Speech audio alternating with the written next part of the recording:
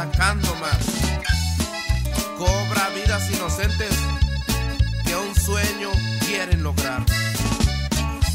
A Diosito le pedimos para que esto no siga pasando